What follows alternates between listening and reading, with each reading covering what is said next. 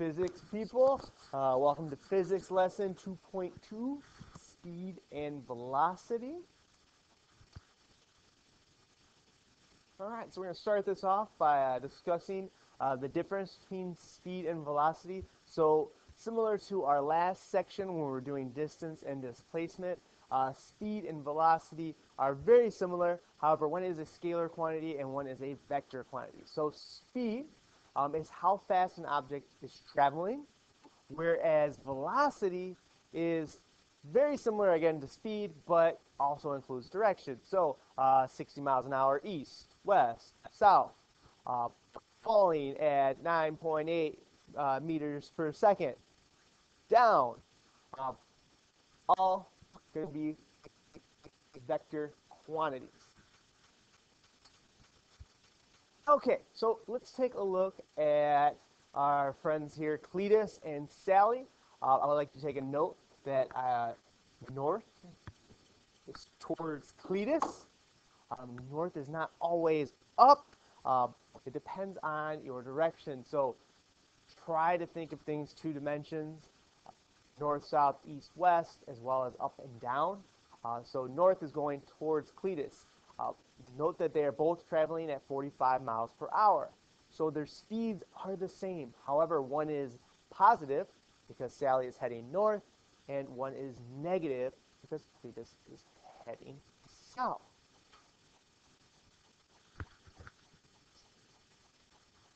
All right, so two ways you can change your speed.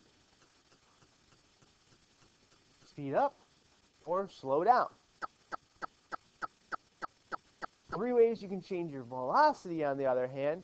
Remember, they are very similar to one another, so you can speed up, slow up, slow down, or simply turn. So even if your speed does not change, if you are turning, you are changing your velocity. That's going to be very important in Unit 3 when we talk about acceleration. All right, so for this section, we're going to be looking at instantaneous speed and instantaneous velocity. So how fast an object is moving at a certain moment in time.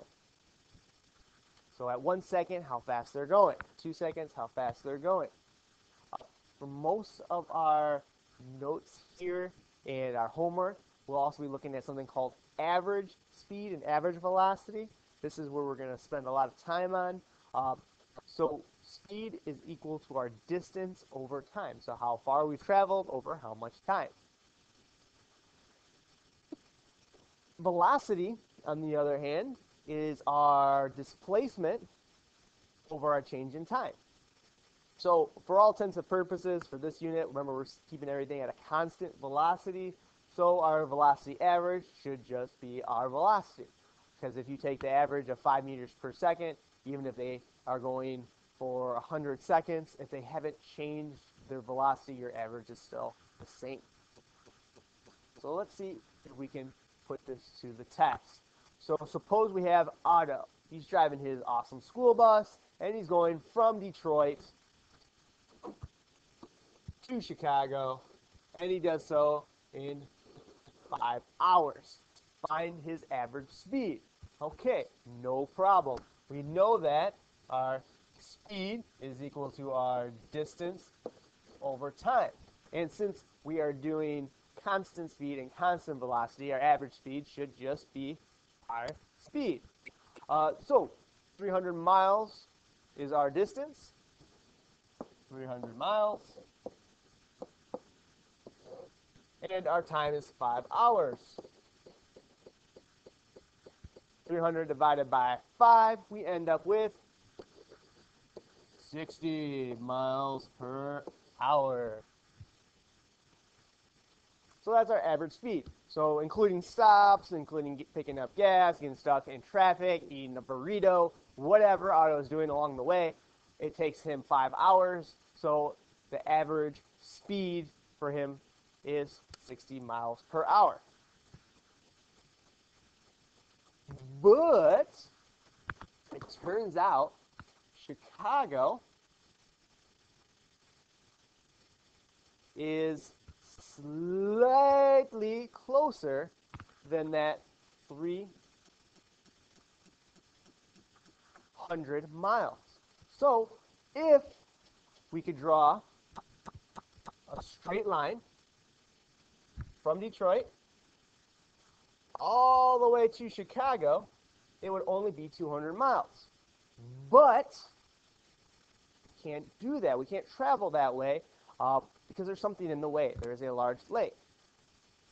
But our change from our initial position is only 200 miles. So we need to find our average velocity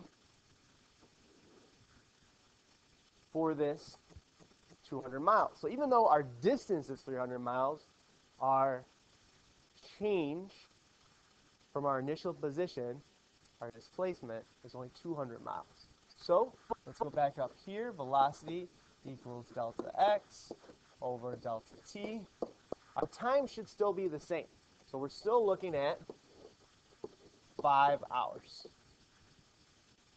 But our displacement is now 200 miles. So when we go through and calculate that out, our velocity is only 40 miles per hour.